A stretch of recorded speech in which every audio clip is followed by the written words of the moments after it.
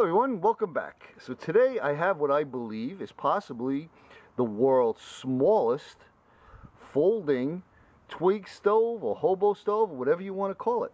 Um, I had originally put this together to uh, use as a base for my biggest stove.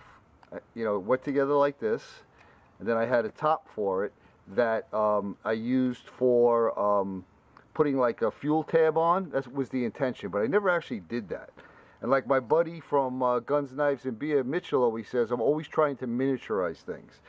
So after I made this and turned it into the actual stove, I said, wow, it may actually really be the smallest one. So I started doing some research, and I found this Bushcraft Micro. Now this isn't a folding stove, but it does come apart. It's uh, four four sides you have to you have to kind of snap them together in the base. Um, but it was 2.5 inches wide 1.8 inches high and 2.7 ounces and it's made of stainless steel. Um, mine is 1.6 ounces almost um, a whole ounce less because I'm making it uh, out of aluminum. It is actually an ounce 0.1 less. Mine is two inches high uh, which is only plus one fifth of an inch, which is like nothing compared to theirs. And mine is actually 2.25 wide, so two and a quarter wide, and theirs is two and a half, so it's actually a little bit narrower. So uh, this may actually really be the world's smallest folding stove. So let me show you how this works. It, it, again, it's a, an exact miniature of the larger ones.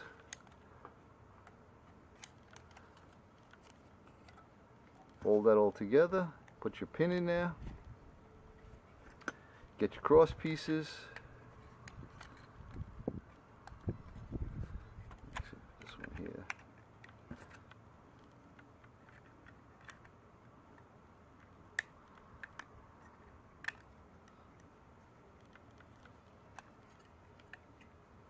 And there you have it. I mean, check this thing out.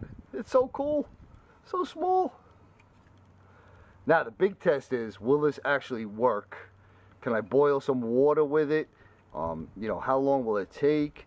Now obviously it's going to be able to fit some of those fuel tabs. I think it would work great with those. Um, but I don't, I don't like the way they smell. I'll tell you, they got a weird smell to me. Um, I do have them. I did play around with them. Um, some other tests, but uh, I, I'd love to see this thing work with, you know, twigs. Well, I have some pine pieces uh, that I used the last time on the other stove. So I'm going to go get this set up on the stump and uh, let's see if we can boil ourselves a cup of water. Alright, so give it a little test burn. Just wanted to check it out, but uh, check out the weight. Six.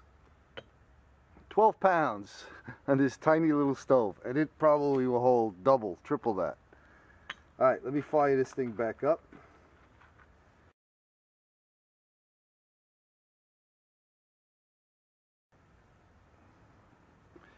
So I have one cup of water here, exactly one cup.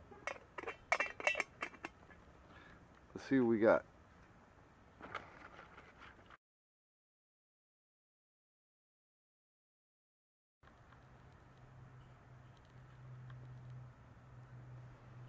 All right, I'll uh, I'll bring you back when that starts boiling. I got a little timer going here, and we'll see how long it takes.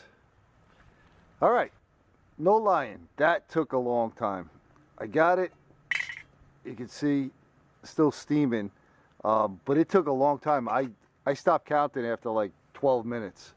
So I'm gonna guess uh, probably took me like 15 minutes to get that up to temp.